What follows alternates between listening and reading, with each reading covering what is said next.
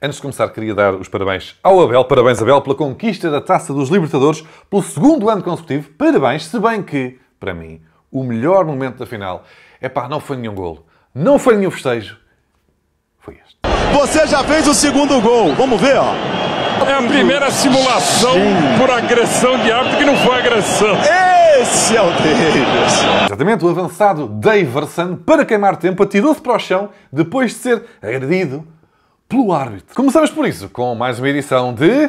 Não é assim que funciona. Eh, repara, Daverson, não vale a pena simulares uma agressão do árbitro porque... Nota, Não é assim que funciona. não é? Não dá para enganar o árbitro com o árbitro.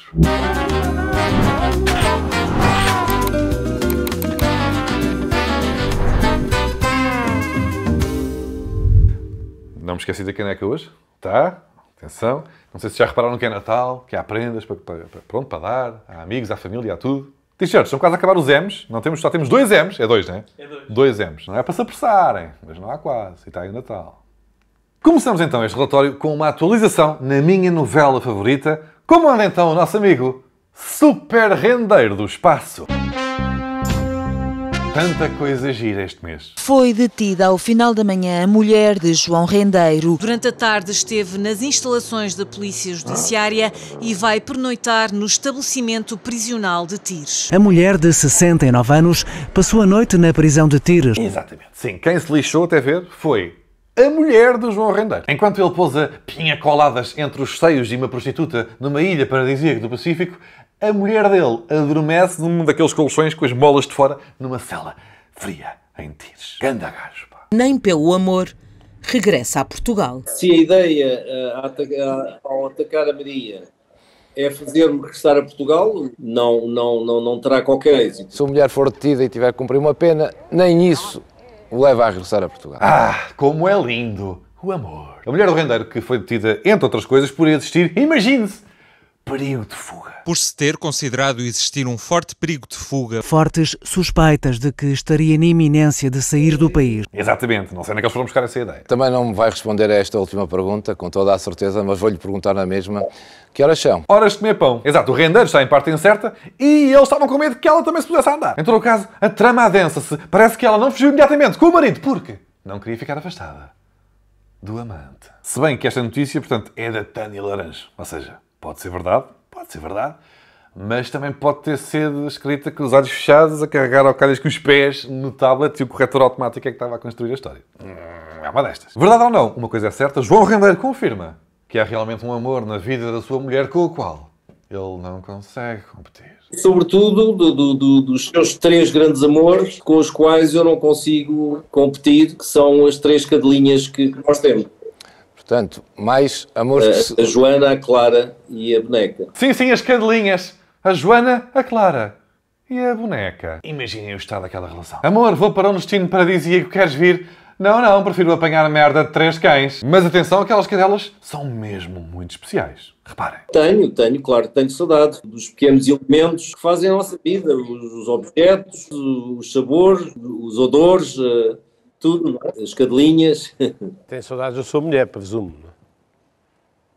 evidentemente. Sim, sim. Tens saudades de Portugal? Tenho, tenho, de tantas coisas, de objetos, das cadelas e da, e da, da- da tua mulher. Ah, isso também. Não é normal, atenção. Eu desconfio que aquelas cadelas não são normais, pá. Eu aposto que elas têm tipo diamantes escondidos no baço ou coisa que eu vejo. Eu investigava aquelas cadelas, não estou a gozar. 90% de hipótese que os quadros desapareceram estão enfiados nas cadelinhas. Entretanto, João Rendeiro deu cabo de outra relação pessoal. É um homem inteligente, civilino, manipula e joga. João Rendeiro mente com todas as palavras. A partir do momento em que João Rendeiro está desesperado contra tudo e contra todos, porque ao atacar-me falsamente a mim, Carlos do Paulo, advogado e homem com nome de relação romântica abusiva, disse que João Rendeiro é um aldrabão, e isto, atenção, numa altura em que ainda representava legalmente João Rendeiro. eu representei e neste momento ainda represento o Dr. João Rendeiro. O Dr. João Rendeiro fez uma afirmação que é completamente ofensiva da minha honra, da minha dignidade, do meu bom nome. Lá está, o problema do Carlos do Paulo é não ser uma cadelinha. Talvez dessa forma conseguisse ser amado pelo dono. Se bem que, tal como as cadelinhas, o Carlos do Paulo até era bastante fiel. Basta recuar um mesito. E, portanto, continua a representá-lo, mesmo sendo foragido à justiça. Com certeza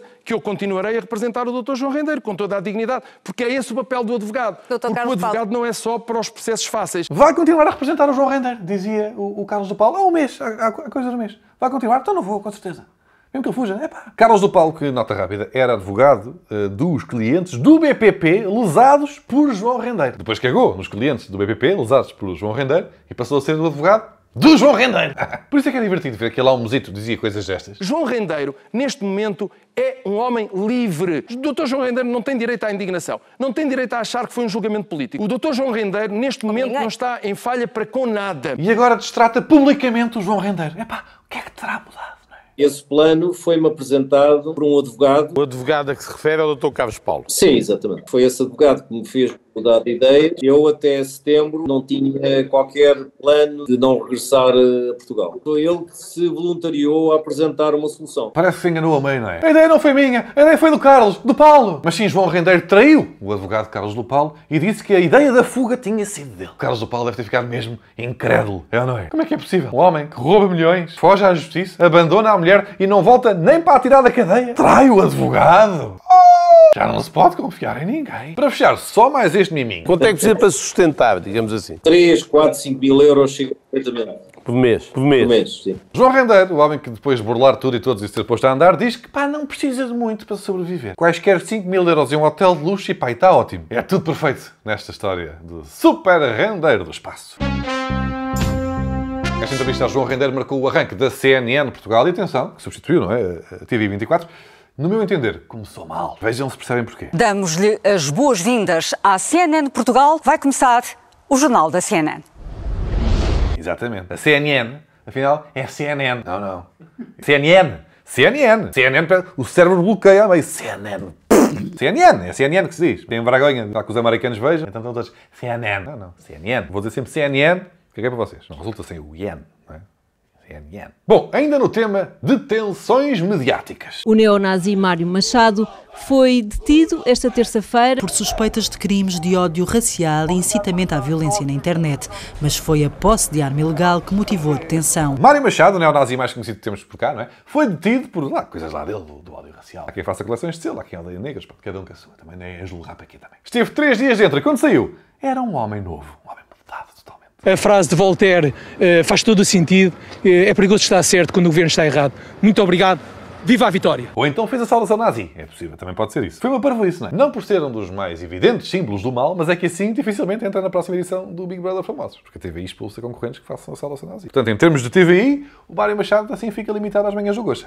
Foi de resto mesmo muito forte no que diz respeito à alegada criminalidade. Confirma-se que a casa do presidente do Porto também esteja a ser alvo de buscas. O que é que vem fazer hoje ao Judiciário? O que é que as autoridades procuram exatamente? Sozinho lá entrou no DCAP e 40 minutos depois regressava no mesmo tom. A casa do presidente do Futebol Clube Porto, Jorge Nuno Pinto da Costa, foi também alvo de buscas. Aqui, na casa de Pinto da Costa, esteve o procurador Rosário Teixeira. Vou ser honesto, pá, não foi fácil fazer pesquisa para este tema, porque um gajo mete no Google buscas Pinto da Costa, ou investigação Pinto da Costa, epá, e aparecem merdas dos anos 90, 2004, 2015, um gajo, um gajo já não andou por mim a ver merdas, não tem nada a ver com nada. Às vezes só a ver merdas e depois é que reparo, isto está em 4x3. Ah, ele não, não namorava com esta donzela, era com outra jovem donzela. Ele tem um alcatel. Ah, estou a ver as, as notícias erradas.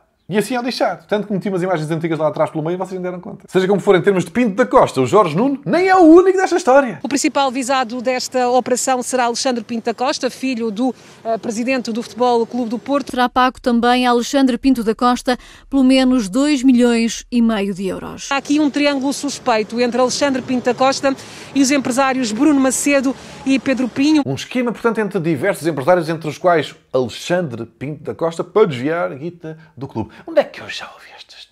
Comportamentos que eu considero um pouco estranhos em relação ao, à participação do, do, filho de Jorge Nuno Pinto da Costa, Alexandre Pinto da Costa, e Pedro Pinho, que era o seu, o seu parceiro na Energy Soccer. Existem ali algumas coisas que fazem-me acreditar que possa, talvez, haver desvio de, desvio de fundos no Futebol Clube do Porto. Exato, Rui Pinto, não da Costa, neste caso, já tinha alertado em 2019, quando a Justiça Portuguesa foi buscar a Hungria. Seja como for, até agora, um dos meus personagens favoritos é este. Outro empresário envolvido na operação Fora de Jogo é Bruno Macedo. Chegou a ser detido no mesmo dia de Luís Filipe Vieira. É nome presente nestes três processos. Exatamente, Bruno Macedo, de quem eu já tinha falado aqui. O Benfica comprou um jogador brasileiro, a Master, de Bruno Macedo, por um preço claramente sobrevalorizado. Bruno Macedo terá vindo depois compensar Luís Filipe Vieira. O Ministério Público diz que pelo menos 2 milhões e meio de euros tiveram origem em fundos do Benfica. Exato, pagas a mais ao empresário, depois o empresário devolve por fora. É o clássico. Bruno Macedo, que alegadamente fazia parte do esquema para sacar dinheiro do Porto e entregá-lo a alguém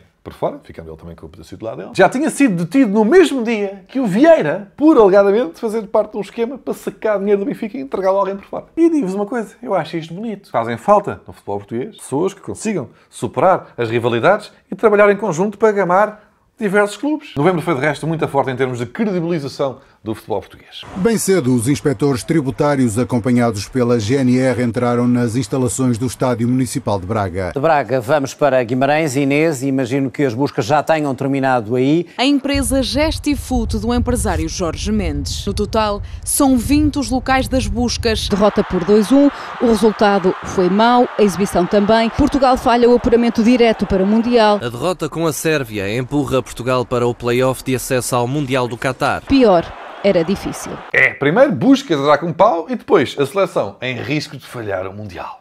Uh, as pessoas que criticam o Fernando Santos gostam muito de criticar. Mas reparem uma coisa. Colocar um conjunto de jogadores de classe mundial a jogar de forma tão nojenta é um trabalho realmente impressionante. Epá, é de autor. É de autor. O Fernando Santos é uma espécie de panoramix invertido. Dá-lhes uma poção mágica que os torna mais fracos. Bom, e já no final do mês, a cereja no topo do cagalhão. Começamos com um alerta. Há um surto de Covid no plantel do Belenenses Estado. Foi-nos suspendido. Tínhamos oito jogadores em condições de ir a jogo. E como tal, se não fôssemos a jogo, tínhamos falta de comparência. Dos nove jogadores que entraram em campo, dois eram guarda-redes. Quase todos eram dos sub-23.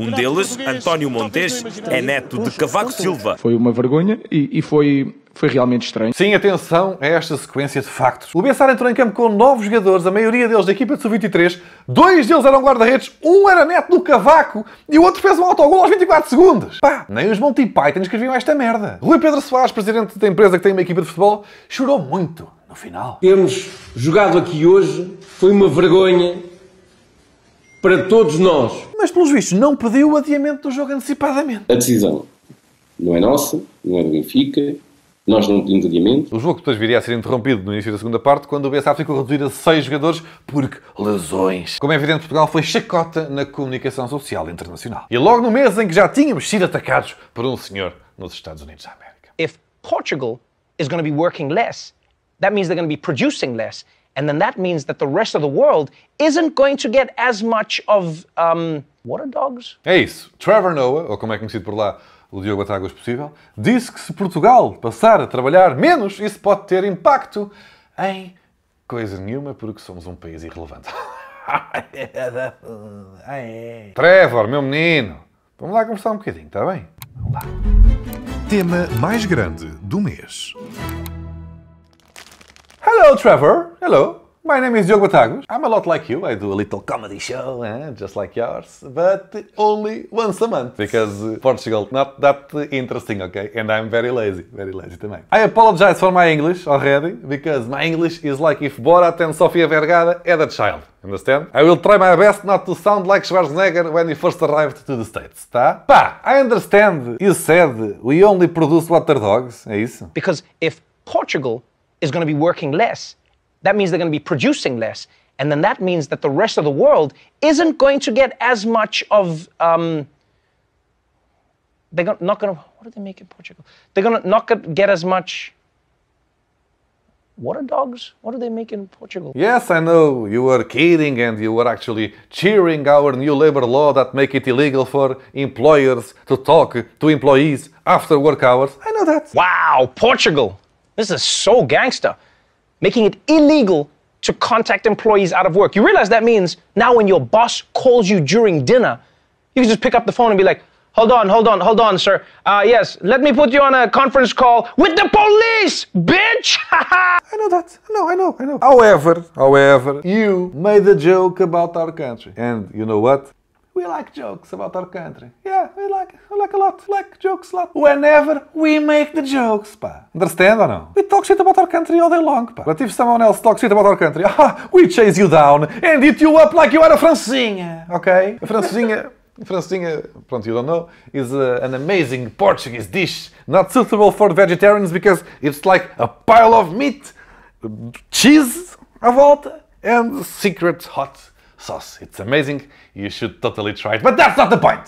That's not the point. You made jokes. The joke was that we are not known for anything meaningful, so we only produce water dogs. Ha ha ha, fucking ha. Very funny. Well, that's not true. Not true. Besides water dogs, we also have Serra da Estrela, Pudim Português, Cão de Gato Transmontano, Rafael Lanjano, and many more dogs. Many more dogs. Seja como for, I wanna apologize.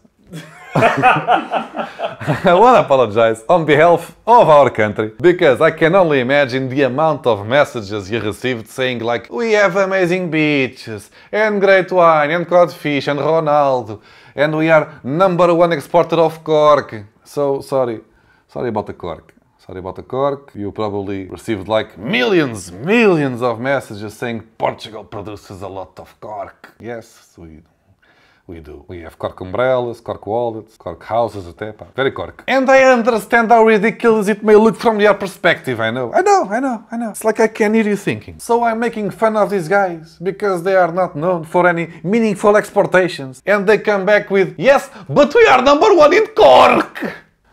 That's not the amazing burn you think it is. I understand that. But we are number one in Cork. We have a lot of Cork. You want some Cork? We must send it somewhere. There's a lot of traffic jams just because of huge blocks of Cork piling up in the streets. Please take some Cork. Give me your address. We'll send you some cork. Well, that's not the point. Bon, let's forget about beaches and wine and fabulous cork, you know.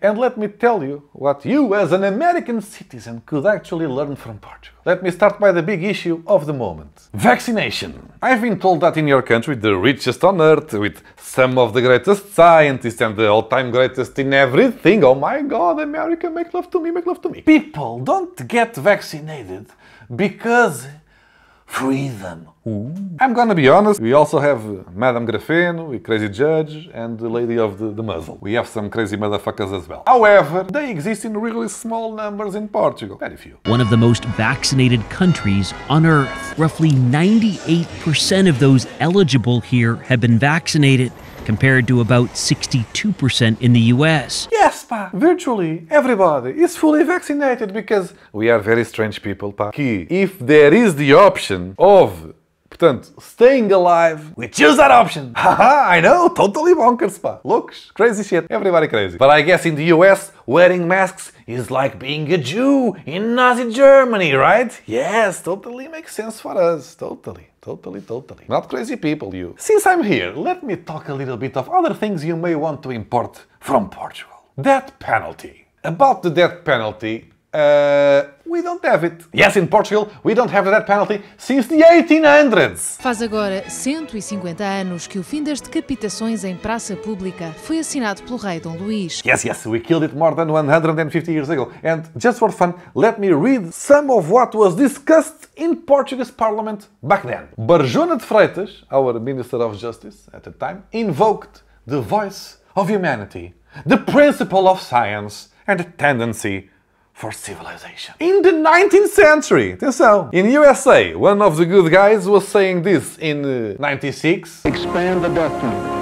That's how we'll protect America. Yes, death penalty for the win. More death penalty. More the better. More death penalty the better. Meanwhile, in 1860 something, Portuguese Minister of Justice noticed that no violent crime increased since the last public execution more than 20 years before. So, he listened to science, data and decency in the 1800s, when the main exportation in France was, I guess, guillotines. I don't know. One of the deputies of Portuguese parliament, Aires Pereira, said at the time, punishment shall not be revenge. It shall rehabilitate the guilty one. And he added, death penalty cannot rehabilitate the guilty because you can't rehabilitate a corpse. Funny guy. So I guess the US could import our values from the 19th century. They're still good. But there's more, there's more. Guns. So I understand you have a, a, tiny, tiny gun problem in the US. I don't know if it's true, but my cousin, who has a friend who once took a dump in a bathtub side by side with Nicki Minaj's brother-in-law, said to me, said to me that if you don't carry a semi-automatic, they don't even serve you at Starbucks. I don't know if it's true. Is it true? I totally believe it's true. I totally believe it is. And as a Portuguese, I find that really bizarre.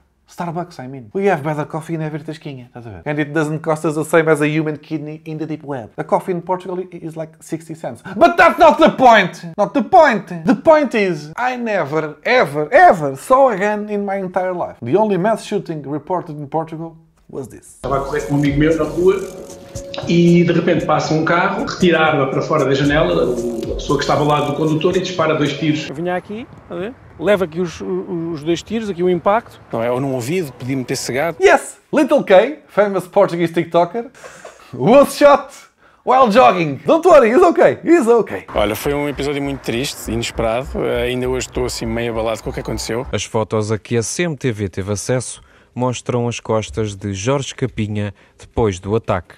É visível um hematoma e a camisola ainda pintada pela bala de paintball. That's right. He was shot with Portanto, paint was a paintball. So, this very dangerous attack caused, well, zero deaths. Zero deaths, but damaged a lot of nice sweaters. Seja como for, it was the main issue in morning shows for about a week. Exactly, while you in America were undecided about what mass shooting should we cover today, we were talking about the dangers of paintballs. And the best way is to wash it off. And you know why is that? Because we're one of the safest countries in the world. Safest country. That's right, we are almost number one in the world. Está em quarto lugar. À frente, apenas a Islândia, a Nova Zelândia e a Dinamarca. We're not number one, yes. Iceland is actually the safest country in the world, but of course they are. There's like 12 people there, and they are too cold to commit crimes. The bullet just freezes out of the gun. Pshoo, fica aqui. It's like, like cartoons, you know? There's also New Zealand and Denmark. Both countries still lead us, but again, New Zealand, New Zealand is not a real country. It's a country club where Hollywood shoot movies and ships drink rainbows all day long. So we're number 4 in Global Peace Index. That's really good. That's really good, I know. The USA stands proud in uh, 122, at least side by side with South Africa. For peace. Actually, Portugal is so safe, but so safe, that Brazilians who live here are now posting TikTok videos amazed how they can walk around freely at night. Yes, you can go to an ATM in the middle of the night and survive. Yes, survive. Not even get a, a shot by a paintball. Nothing. Yes, but sometimes there's a little bit of assassinations here and there, okay, but it's very, very rare. Very, very rare. You have more assassins among TV stars only that we have murderers in total. We have so little mass murderers that we actually kept the head of the main one. Yes, yes, yes, we are sick people. Diogo Alves killed dozens of people in the 1800s. He pushed them from the top of the aqueduct. He was a funny guy. So at the time, Portuguese scientists wanted to study his brain to understand his motivations. So after he was sentenced to death, he was actually one of the, the last to be convicted to death in Portugal. Well, after that, we kept the head. We still have his head in a bottle. We still have his head in a bottle. Yes, we do. It can be seen in Lisbon's Faculty of Medicine. It's a nice weekend planned, isn't it? Hey kids, let's have some ice cream and look at the dead murderer's head. Yeah. Another thing for you there in America. Drug problem. Now let me just rub this on your face. Portugal was the first country in the world to decriminalise drug use in 2001. The government agreed that no matter what drug you were caught taking, you would no longer be punished. Yes, while in the US your prisons are piling up with very, very dangerous drug addicts who were caught smoking weed. So dangerous, so dangerous. We took a slightly different approach 20 years ago. 20. Portugal removed criminal penalties. Things like jail time, police records, and large sanctions for possession of small amounts of drugs. In Portugal, drug users are treated like healthcare patients. Unwell individuals who need help and rehabilitation before they're integrated back into society. So if they don't judge you, they don't arrest you, they help you treatment. Okay? They try to uh, conduce you to a treatment program. Yes, we made a radical move instead of criminalize common drug users. We, and I hope you're ready for this, we helped, helped people in need. We helped, helped. Yes, yes, yes, helped. And now everyone in Portugal is a drug addict, of course. I will now proceed to overdose myself. Ooh. Very dead now. Today, the numbers look a lot better. Deaths caused by overdose have fallen dramatically.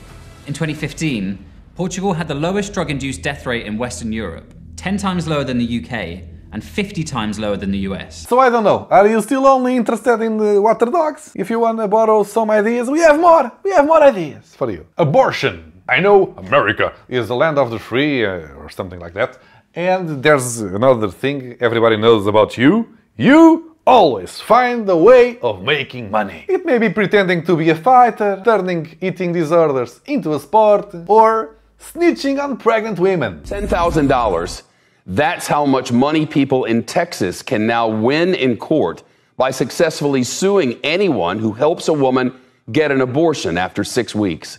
That would include a doctor who performs it, a person who helps pay for it, even someone who drives a woman to an abortion clinic. Of course, that's a really healthy way of organizing a society. Thank you and your family values, USA. In Portugal, we have legalized abortion and it's free. We have healthcare for everyone. I know you don't understand that concept, but it's true, it is. And, as expected, nowadays, everyone have abortions every other week. I will not proceed to have an abortion myself. I, I will. Ao contrário do que muitos defensores do não temiam na altura, é cada vez menor o número de mulheres que recorre à interrupção voluntária da gravidez. Oh no, what a surprise! There are less abortions each year. Ah, maybe because instead of getting yelled at by Christians, Hey, girl! You're in some serious trouble with the Lord! You don't need abortion, you need Jesus. Portuguese women are being taken care of by medical professionals who then help them with health advices. Yes, strange. Mais de 90% das mulheres que realizaram a interrupção voluntária da gravidez passaram a usar um método anticoncepcional e quase metade dessas mulheres optou por um contraceptivo de longa duração. Yes, medical knowledge works better than burning plastic babies outside abortion clinics or something like that. Who would ever guess? Who? Who? Who? Gay rights. We have those. I always find very amusing whenever some right-wing Christian values politic in the USA turns out having a collection of sex buddies organized by color. Of course, there's racism and homophobia in Portugal too, as in every part of the world. We have os chamados otários do caralho. Yes, we do. Yes, yes, we do. However, as a country, we are doing our part, you know? É, de resto, um dos nove países no mundo que incluem na Constituição a proibição de discriminar alguém por causa da orientação sexual. That's right, Portugal is one of the few countries in the world that guarantees sexual equality in its constitution. But some of our most prominent right-wing politics are gay. And no one gives a fuck. Okay, when our Minister of Culture is gay and no one likes it. But that's not because of her sexuality, but because in the midst of a pandemic that sent to poverty thousands of workers of the industry, she said, she said, listen to this, now it's not the time to address that problem. We have a late afternoon drink to attend. Yes, yes, she said it, live with cameramen pointing at her. Muito obrigada e vamos beber o drink de fim de tarde. Obrigada. She actually said drink in English. Fancy. It takes more guts to openly say those stupid words that actually coming out as a gay woman in Portugal. Euthanasia. I was going to say that Portugal just approved euthanasia, however, the president actually vetoed the law. It will go through eventually. É só esperar um bocadinho. Must wait a little bit.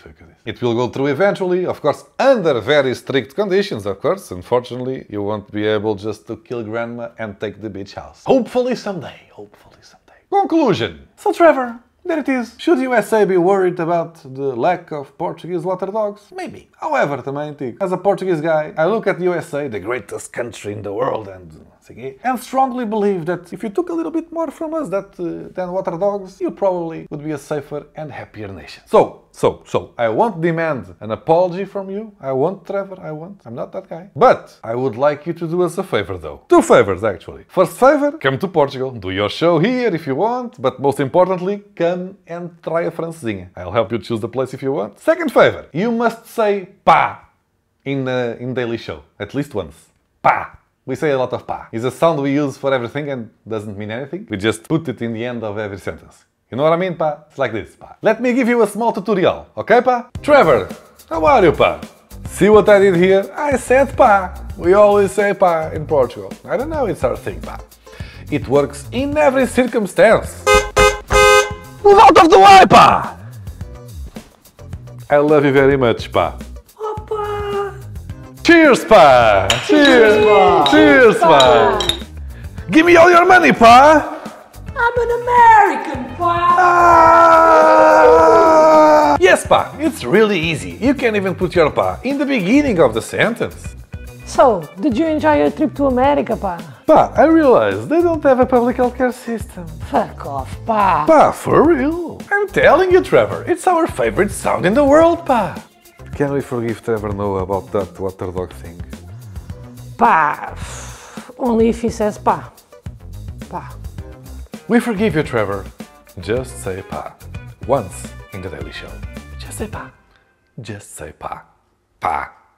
Just say pá. Hashtag just say pá, Trevor. Just say pá.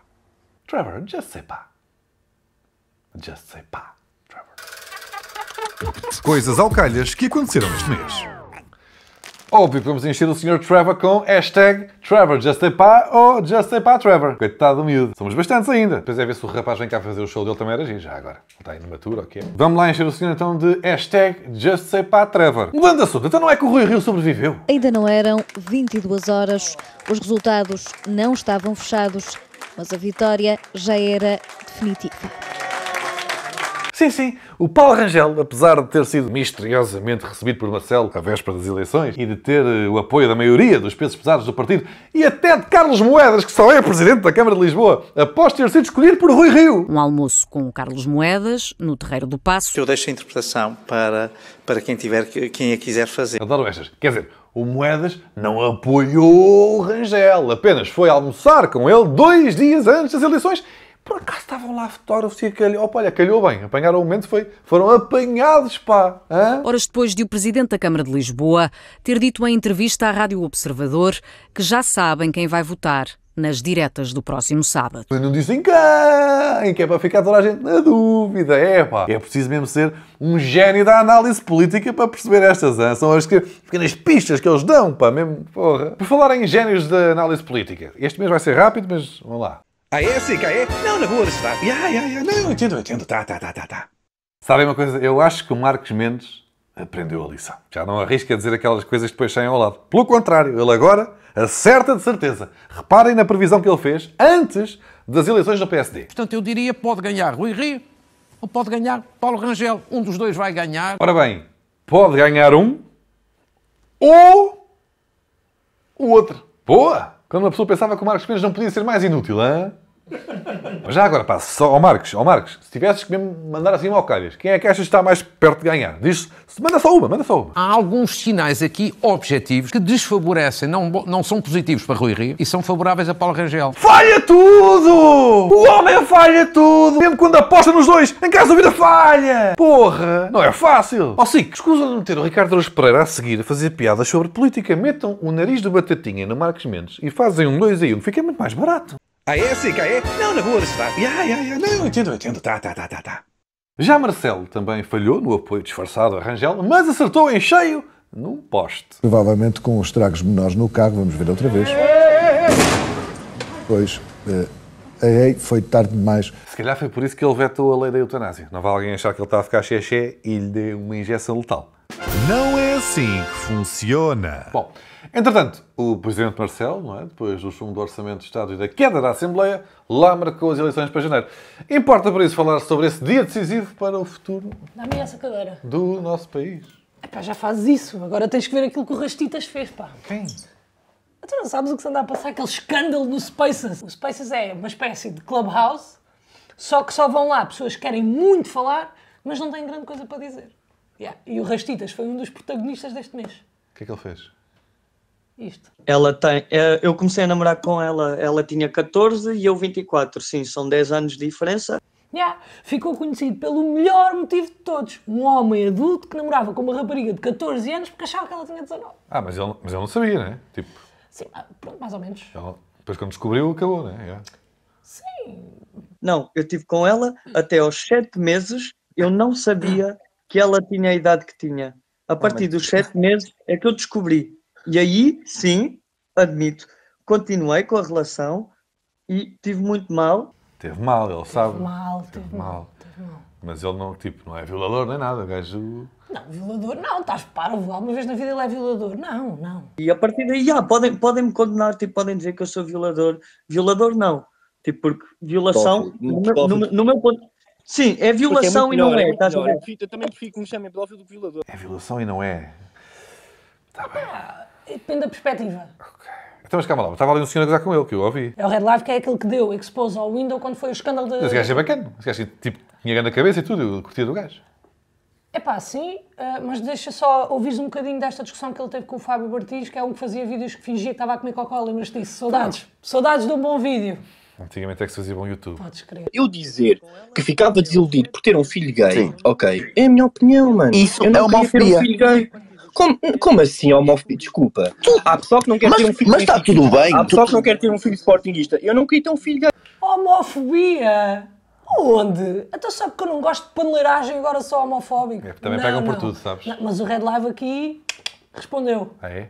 Ah, és homofóbico por não quereres ter um filho gay. Não, desculpa. Imagina.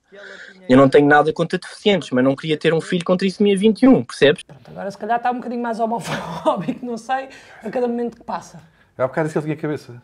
Sim, Se calhar foi eh, precipitada, não? Pronto, opá, não sei, é assim. Depois disto, o que aconteceu foi, porque eu investiguei isto mesmo a fundo, o Fábio Martins expulsou o Red Live do seu O Spaces. Martins é o do Cocó. o com- comia cocó. Comia cocó. Expulsou do Spaces e então eles foram todos para o Spaces da Miss Mushroom para discutirem um bocadinho a homofobia. E por causa disso chamaram o Mata Patos, que é gay, que era para ele ensinar o Red Live que ele não pode dar certo tipo de argumentos, como por exemplo este. Eu sou heterossexual, portanto, obviamente, eu tento meter, eu tento, eu tento impetir os mesmos, o mesmo género sexual ao meu filho. Como tu, de certeza, se tu és homossexual, após tens uma preferência em ter um filho homossexual.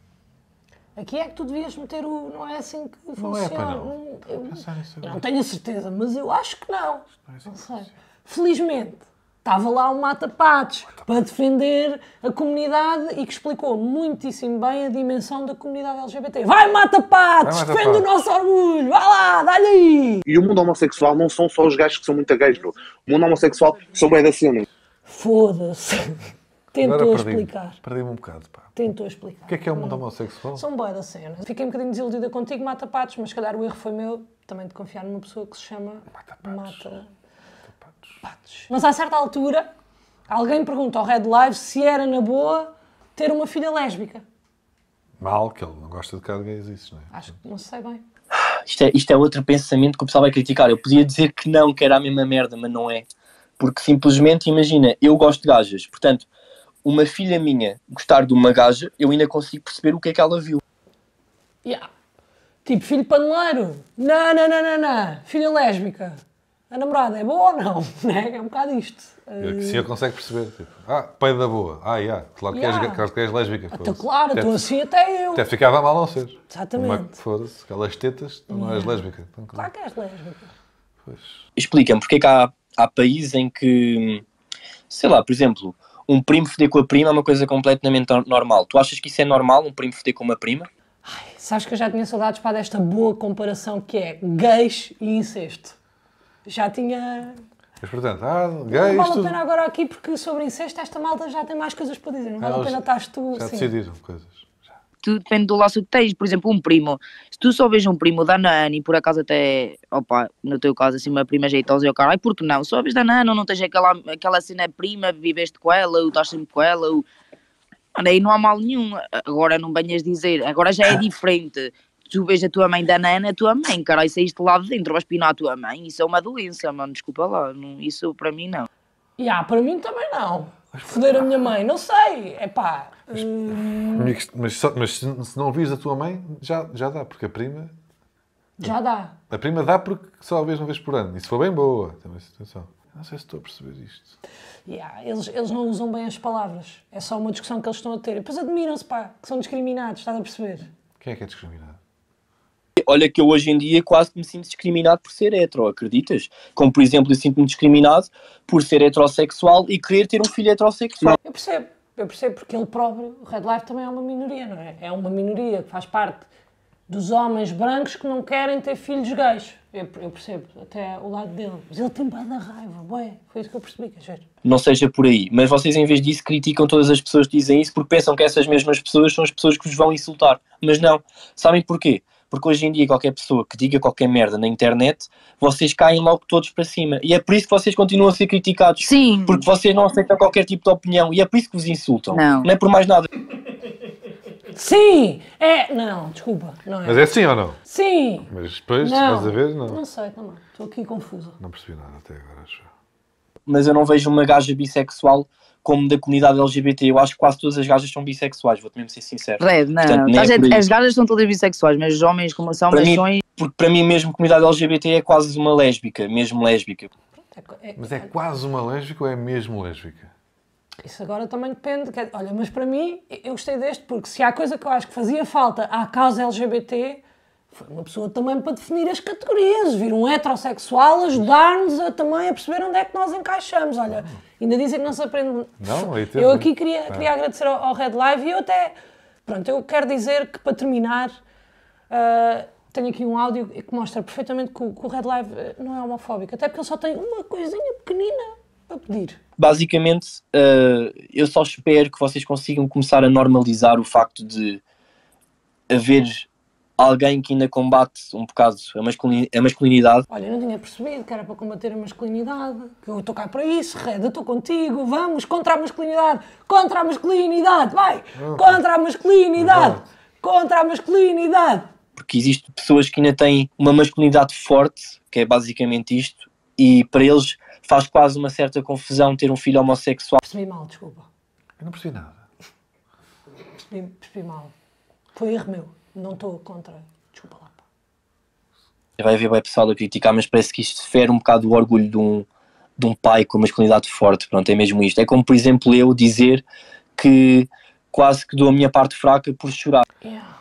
É, é, é- eu também já estou quase de lágrimas nos olhos. Mas ter um filho gay é como chorar. É, isso? Eu não sei. Porque perdes masculinidade. Perdes um bocado. Tu é que ficas paneleiro quando tens um filho gay, estás a perceber? Ah, e choras. É por- e choras, Se tiveres um filho gay, choras choras, ficas duplamente paneleiro. Choras Se tens um bastante. filho gay e choras. É mesmo porque é triste, é mau. isso é tudo menos ser homem, não é? Olha, antes um assassino. Pois, isso não é Antes um assassino. Mata mesmo a homem. do um Ao menos um homem Ah, pum, pum, mata, pum. a sério, um viking, que ele também diz. Pois, também diz a certa, a certa altura. Que levaram no cu os vikings. Não, não, não há vikings que levam no cu. Portanto. Não. Estás a ver? É isto que tu andas a perder nos spaces do Twitter. Então, mas e o, e o Rastitas? É o pedófilo, Ah. O Red Live é o, é o homofóbico, e o Mata Patos? é o gay. Yeah. E o Come Merda? É, são, são, são todos, acho, acho que são todos. Mas estás a ver, isto é ou não é mais interessante do que se andar a passar no PSD? É muito mais interessante, puto. Agora tenho que bazar. Está bem? Olha, espero que tenhas gostado. Acho que valeu a pena. Como sempre, obrigado, Luana. Sigam a Luana na- nas redes, hein? Luana do Bem. Pá, havia aqui muito mais questões, não é? De facto. Mas não era tão relevante como as questões do, do Mata Patos com, com o Red Live e, e o Rastitas, não, não sei o quê. O que é que temos de mais importante? Nada especial. Há uma crise de migrantes na fronteira da Bielorrússia com a Polónia. E na fundamental cimeira sobre as alterações climáticas, o presidente de uma das nações mais poluidoras do planeta adormeceu. Fez um ó. Fez um ó. Exatamente, exatamente. O aquecimento global é tão evidente que o Joe Biden passou pelas brasas.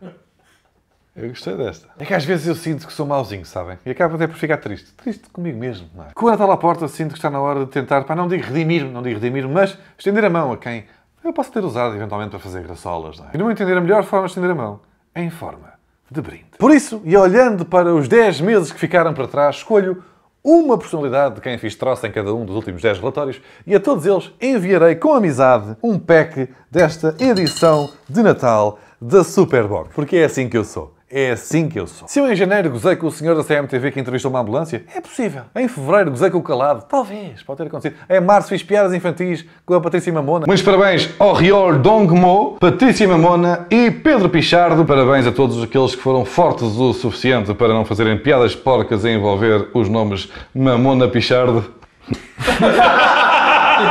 Posso ter feito. Sem abril, disse que ninguém merecia perder a virgindade com o Petit. Opa! Mas em maio foi a bomba que foi injusta para comigo. Marina Cabral, onde é que tens o teu Globo de Ouro? Está com o Diogo Batáguas, Diogo. Devolve, Diogo. Portanto, isto fica, é um bocado ela por ela, percebem? Mas eu perdoo. Em junho posso ter feito pouco do Carlos Aqui Estou, Manuela Cássio Moedas. Em julho terei cantado o casamento a um êxito da Cátia Aveiro. É pá, não sei. Latina de corpo e alma, eu sou. Me entrego completamente ao amor. Em agosto talvez tenha sorrido com o trambolhão de Graça Freitas e ri à gargalhada no mês seguinte com o candidato Damásio Pila. E mesmo em outubro, pá, fiz pouco de Marcos Mendes. A todos eles envio com carinho uma prova de amizade. Esta edição especial natalícia da Superboc, com um cartão personalizado. Por exemplo, para o Sr. Pila escreverei Obrigado pelas gargalhadas. Pudesse, teria votado em si. Vamos enviar a todos, assim consiga os seus endereços. Isto é, temos que arranjar os endereços desta rapaziada toda. Não, tínhamos, tínhamos ter pensado isto mais cedo. Não é? Mas nós arranjamos e mandamos. Pá, para Marcos Pentes e mandar para a SIC. Depois eles entregam. Antes das rubricas mensais. Foi um ótimo mês para o empreendedorismo. Cristina Ferreira vendeu bifanas no Web Summit e militares portugueses venderam diamantes traficados em África. Nota ainda para o desaparecimento este mês de Marília Mendonça, cantora brasileira, Rui Oliveira e Costa, antigo deputado e famoso adepto do Sporting, Luís Tavares,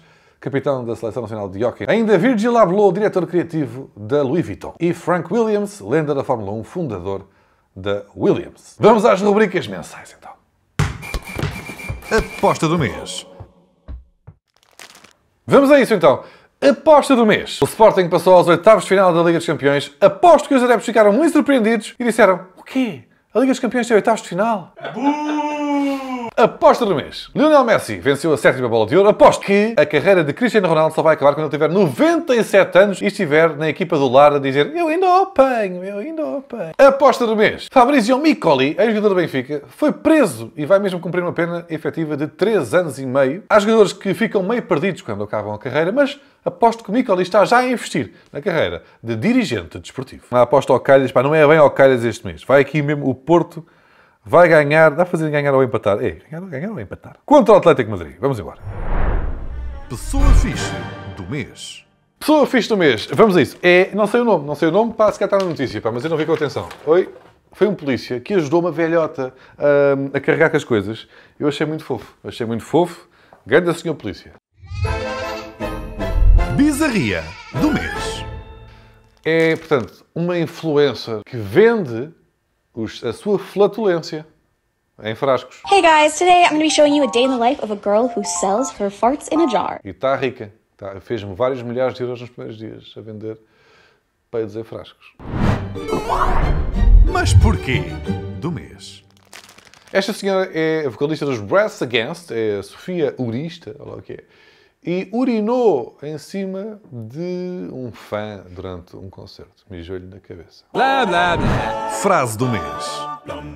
E também é bom que eh, todos nós, como sociedade, e isto envolve várias áreas, pensemos nas expectativas e na seleção destes profissionais, porque porventura outros aspectos, como a resiliência, são aspectos tão importantes como a sua competência técnica.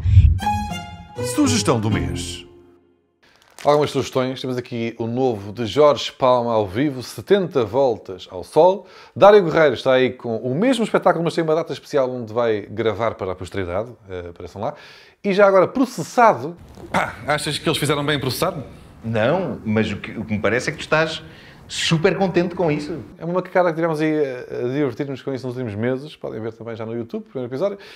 E já agora, pá, uma caneca. Uma caneca, uma t-shirt. Está aí o Natal, já sabem. Deem dinheiro aqui, porque o Sandro tem fome de Alguma. Alguma? Te apanhar na curva. Olha, boa.